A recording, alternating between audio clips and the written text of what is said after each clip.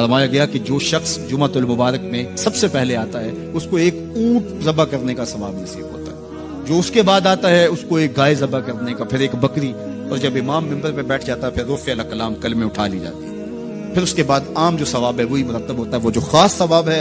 अवलीत का वो फिर उठा लिया जाता है लेकिन दूसरी बात यह है कि हमारे यहाँ अमूमी तौर पर इज्तमाही रवैया यह है कि मस्जिद में देर से जाने का फैशन